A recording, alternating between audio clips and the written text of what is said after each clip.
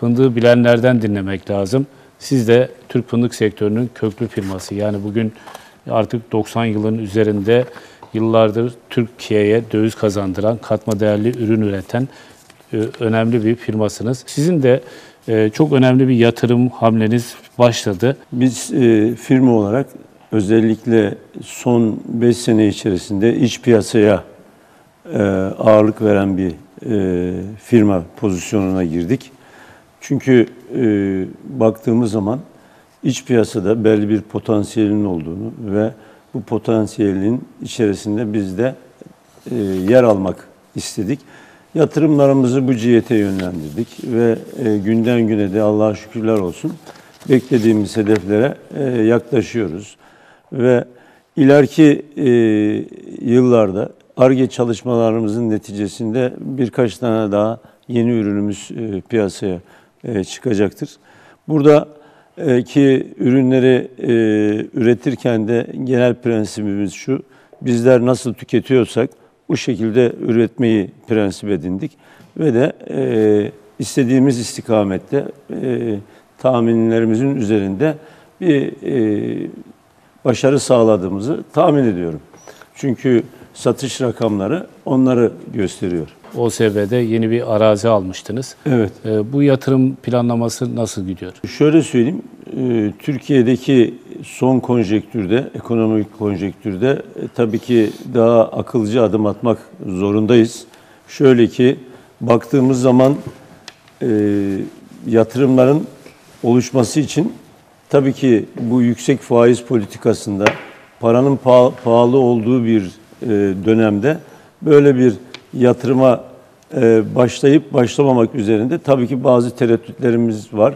Bunu 2024 senesini özellikle gözleyelim dedik. 2025 senesi ekonomik olarak ne getirecek? Buradaki amaç bütün yatırımları bir noktaya mı toplamak? Tabii ki evet. yani e, bütün e, tesisi e, bildiğiniz gibi Perşembe Çerli'de, Kumpaşı'nda ve organize sanayinde hatta bazı değişik yerlerde de depolarımız bulunmakta.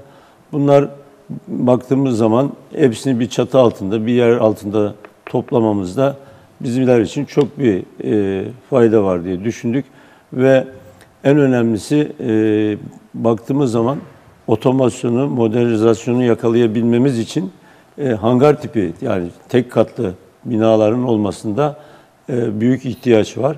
Dolayısıyla bu yatırımlarımızı daha doğrusu makine ağırlıklı e, yapmak istiyoruz ve e, bunun için de e, tabii ki e, yer önemliydi. Yerimizi aldık tabii, ve bunun neticesinde ileriki aylarda e, Türkiye'nin ekonomisini özellikle izleyerek e, akılcı bir şekilde hareket etmek istiyoruz. Evet başkanım. E, peki İslam sayısı nedir firmanın?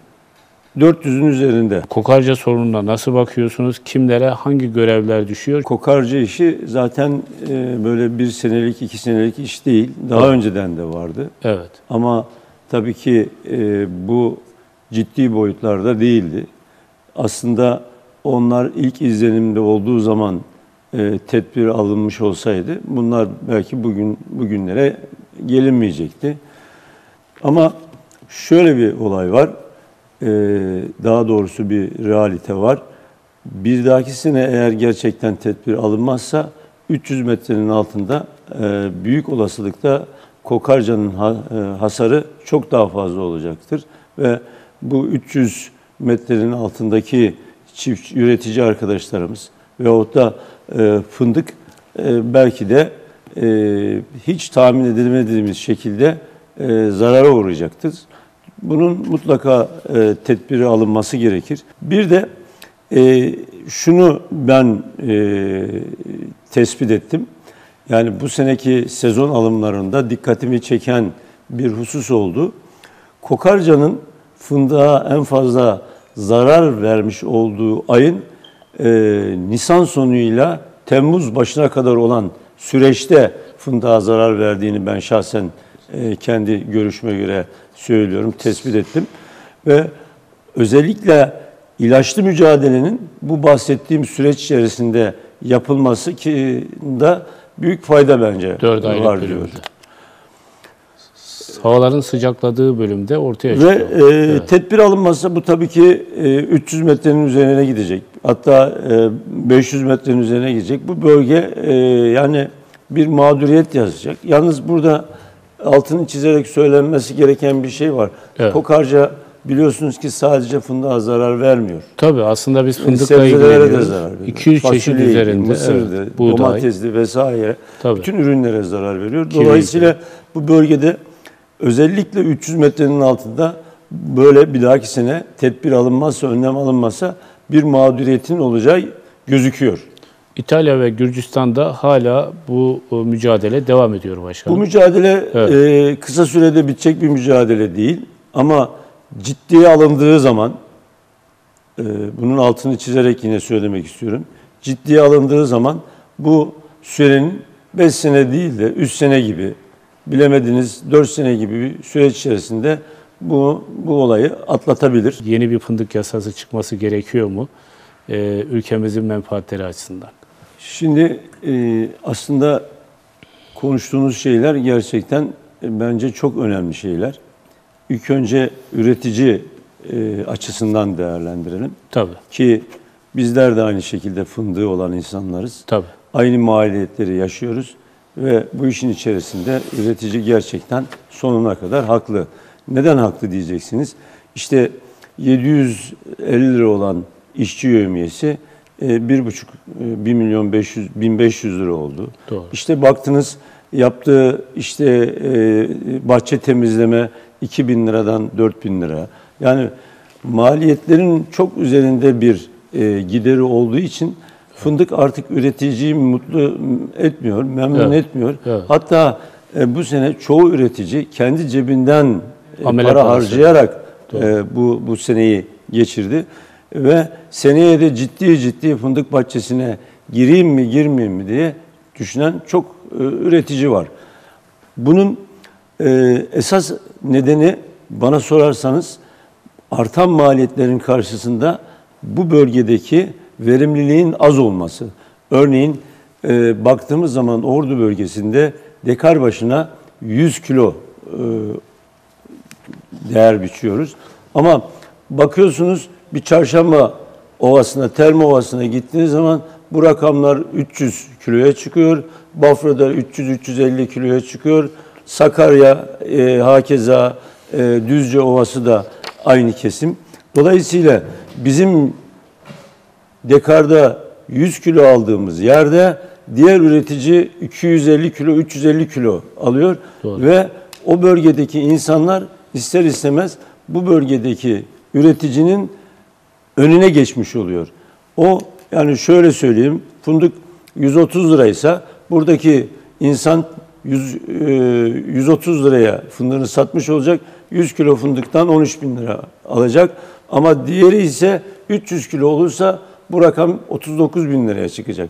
Dolayısıyla o insanları belki bu maliyetler kurtarabilir ama bizim yöremizdeki üreticiyi daha artık kurtarmıyor. Bakın bahçeler eskiden yüzde yarı yarıya e, yarıcıya verilirdi.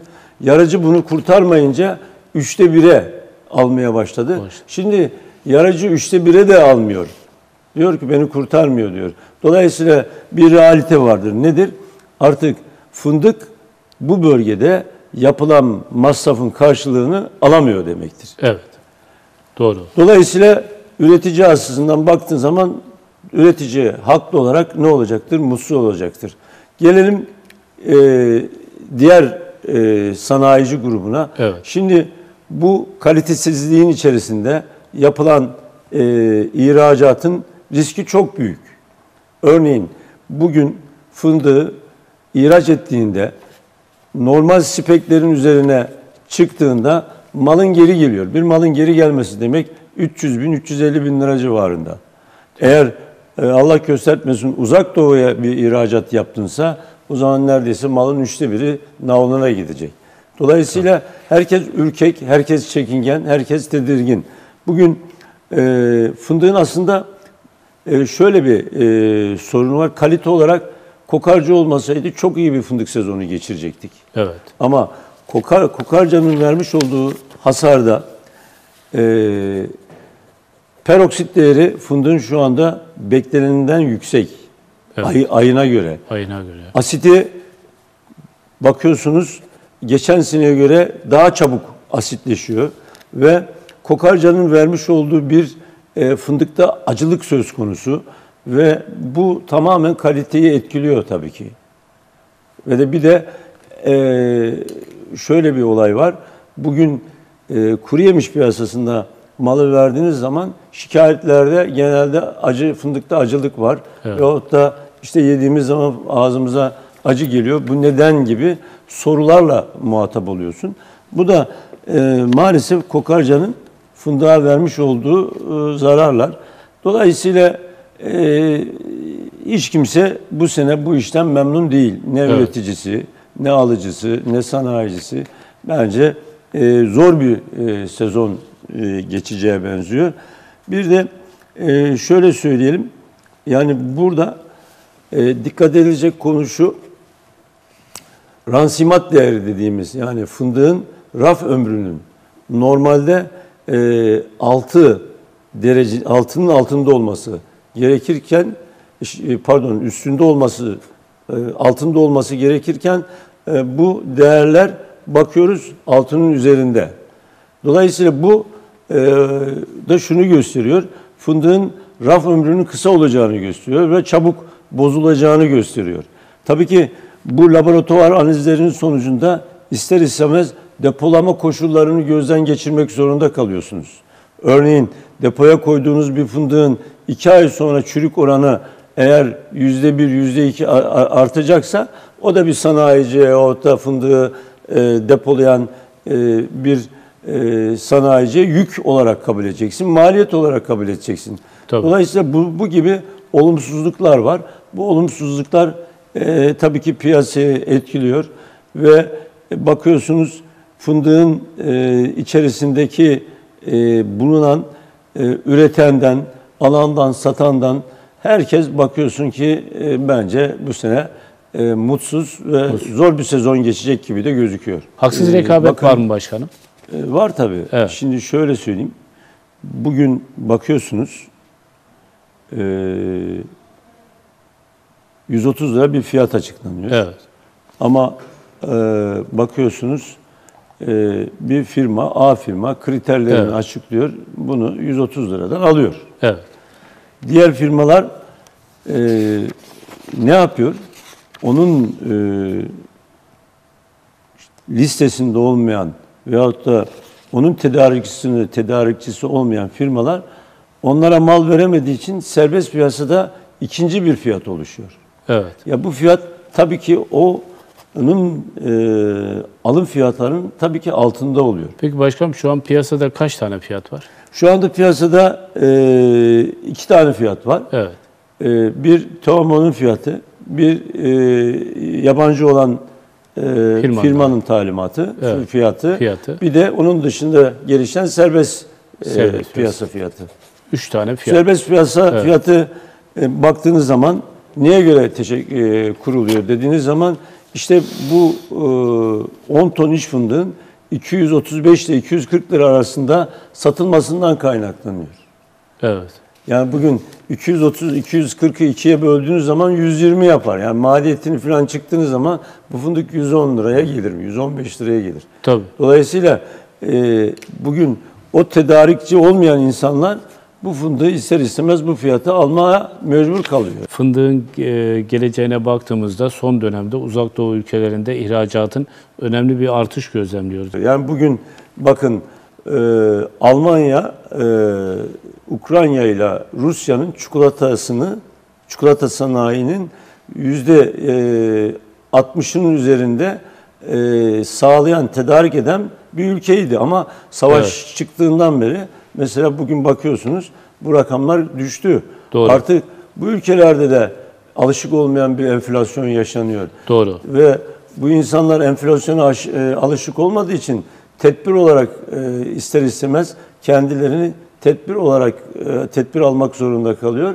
ve fındık reyonlarında ve çikolata reyonlarında e, bize gelen bilgilere göre bir azalma yani satımda Evet. e, bir azalma olduğu söyleniyor. Bu da tabii ki e, ister istemez e, fındığın e, talebine e, talebine yansıyor. Tabii. Çıkış yolunu konuşursak. Mutlaka e, fındığın bir politikası olması lazım. Politikası olmayan bir şeyin geleceği de olmaz. Şimdi kokarca olayı 5 sene önce de vardı aslında. Evet, tabii. Ama niçin şimdi gündem oluştu? Evet. 5 sene önce niçin tedbir alınmadı da bugün bunlar Tabii, konuşuluyor? Gürcistan'dan İşte geleceği belliydi. altında Evet. sorduğunuz zaman bana göre hiçbir zaman tek bir cevap çıkıyor. O da politikasızlık. Yani bir e, politikası olmayan ürünün e, bana göre geleceğinde her türlü sorunu yaşarsın. Fındık bol olduğu zaman fiyat sorunu oluyor. Doğru. Ya fındık iyi olduğu zaman kalite sorunu oluyor. Ya işte e, diyoruz ki pazarlama sorunu var diyoruz. E, yani hep sorun sorun sorun ama netice eğer e, bu dediğin gibi biraz önce bahsettiğin gibi Evet. e, yani katma değer üreten ve Türkiye'ye neredeyse 3 milyar e, dolara yakın bir girdi sağlayan bir ürünün bana göre e, politikası olması lazım.